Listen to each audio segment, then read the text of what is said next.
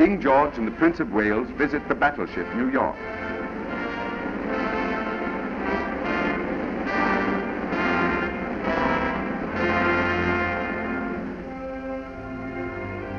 In the background, British patrols leave for the North Sea.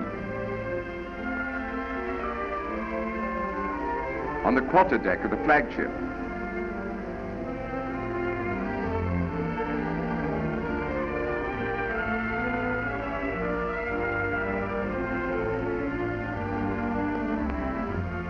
Left to right, Admiral Beatty, Admiral Rodman, the King, Admiral Sims and the Prince of Wales.